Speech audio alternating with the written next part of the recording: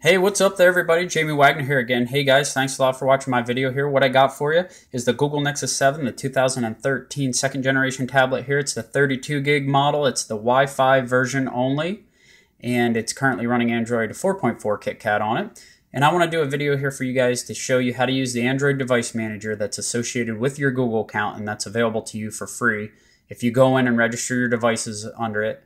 Um, if you lose your Android device, this will work for the Nexus 4 phone as well. Um, I did a video on that previously. So as long as they're associated with your Google account, you will be able to remotely locate them or perform a factory reset of these devices. Um, um, today I'm going to show you how to do it on the tablet here. It's kind of like a hands-free remote um, uh, factory reset. So you want to do this stuff in advance before something happens.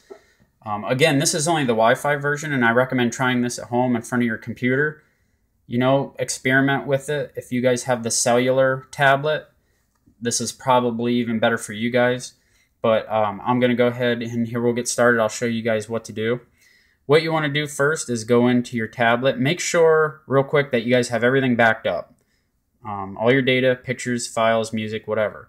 Or in sync with your Google account. Make sure you guys you know, have all this stuff backed out because what I'm going to show you here is going to wipe out this tablet and put it back to the welcome screen, which is, you know, setting it up just like it's fresh, um, like you, you know, just got it out of the box. Um, I did it on mine the other day and, you know, it restores it right back to the welcome screen. And after I enter all my stuff in and set it back up, it, it, it still was running Android 4.4. So if you've upgraded, you know, it's going to put you right back to right back to the very beginning. So again, make sure your stuff's backed up. So go into all apps, go and, and in here you want to choose your, not, not the tablet settings, but you want to choose your Google settings. Okay. And what you'll see when you first choose your Google settings is this screen. So you come down here where it says Android Device Manager. In here, you're going to see mine are already check marked. If yours aren't, make sure you check mark those and, you know, perform a, a backup again just so it backs up your settings in, in your Google account. Um, by default, mine are check marked after I reinstall, so that works out pretty nice. And I did try this, and it does work um, pretty nice if everything is functioning like normal. Okay, so as you can see, they remotely locate the device, allow remote lock and factory reset. So go back to your home screen here. So the tablet is pretty much ready to go as far as sending it the information to remote locate it or remote wipe. So what we got to do now is go to your go to your Google Play account and log in. Okay, guys. Come over and make sure that you can see your information here and you're logged into your account and there's going to be a little settings tab which is basically a gear looking like a gear and you want to um come down and choose Android device manager. So if you watch over here right now it's locating my Nexus 4 which it found pretty quickly. And um, there's, if you have a couple devices, there's an arrow right there. You select that arrow and come down, and I'm going to choose my Nexus 7 because that's what we're going to do the, we're going to do the wipeout on. So there it is, my Nexus 7. You can see a blue dot that it found it where it's at, and it'll show you its last located, like the time, and it, you know approximate location. And what's cool here is there's a couple features here. Ring, um, I apologize about the camera shaking, guys. I'm using my phone to do this, but I wanted to show you guys like a live Android device manager, you know, wipeout. So I'm going to actually click ring. And what this is going to do is it says ring device. Your device will ring for five minutes. Press power, power button on the device for it to stop ringing. So before, before I come over here and press ring, I'm going to put the phone back down on the uh, Nexus 7 so you guys can see. And we'll get it ready here. If you watch up top here where my finger is, as soon as I click ring, you're going to see the Android device manager symbol show up. Okay, it'll do that for five minutes. That was pretty fast. I mean, I literally clicked that and it immediately did it. So in order to stop that ringing, press the power button. And it'll shut off. So that's one way you can do it there. If you look, you know, say it's connected to Wi-Fi, um, and it's in the house. Lost downstairs, whatever. Check it out. Try this out. It's pretty cool. You can ring your device. Okay. um, if it's powered off, it's not going to work. Um, but I know if it's um, on, if your device is on and connected to Wi Fi in your house, you know, and it has a good solid connection, then it, it's going to work. So the other thing we can do here is we can lock the device. Okay. So if you if you choose lock, I'm not going to do it, but I'll just show you guys you have the option to lock your device right there. And you know, you put a password in and I tried it the other day and it actually really works good. So you can remotely, you know, send a lock, a passcode, you know, to your tablet and it'll lock it. And then you have to put that passcode in to, to get in your tablet. The one we want to do here is the erase. This is going to be the remote erase. So you want to click that and you're going to get this pop up. Erase all data. This performs a factory reset on your device, your apps, photos, music, all that stuff will be deleted. And it says after you erase the device, Android Device Manager will no longer work. Um, once you get your tablet set back up and you sign back in and sync everything up and you're reestablished and you're back to normal, uh, the Android Device Manager will work just fine.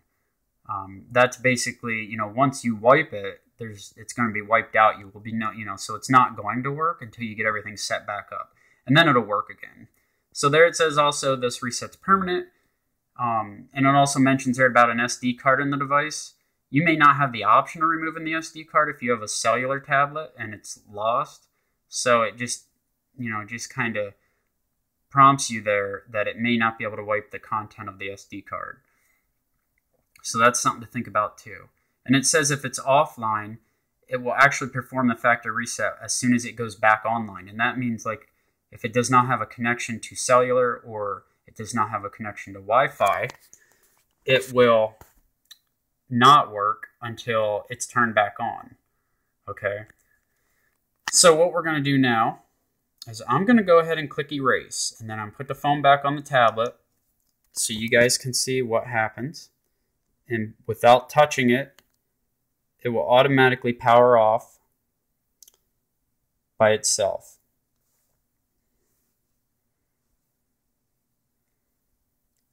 and it may take a moment for it to happen, but there's there's the pop-up and you can actually see where it just gave us a message.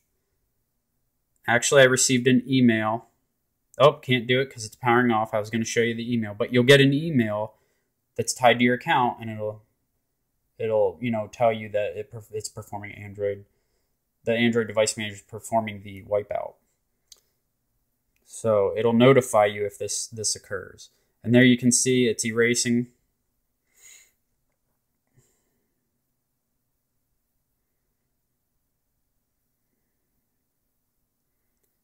I mean, this is pretty easy to do at home if you're trying it out to get an idea how it works because you are in front of your computer. You have a chance to, you know, test this, see how this works out. You know you have a good solid connection at home. I mean, the only issue I see is like not having a connection. So if you lost this and there's there's no Wi-Fi connection to it and there's no cellular coverage where you lost it, then you're going to have a difficult time um, recovering it unless it was left on and someone picks it up and carries it to an area where it's got coverage and you clicked erase on your Android device manager, then apparently what's supposed to happen is it will actually still continue to erase the device once it gets in an area where it has coverage. So if, if someone steals it and carries it to an area where there's coverage, it will still continue to wipe it out.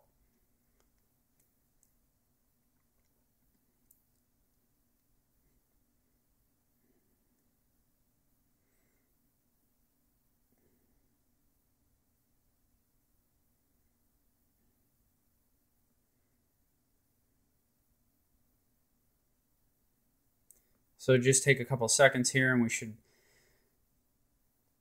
have ourselves right back to our welcome screen.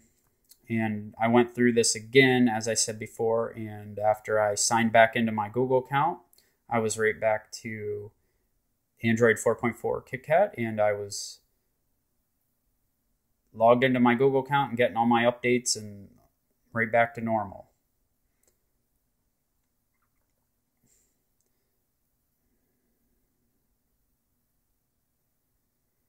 So I'll give it a second here, guys, and as soon as you know, we get to the welcome screen. Um, that's pretty much it. And uh, be done with the video. I hope you guys get a chance to try this. It's pretty cool.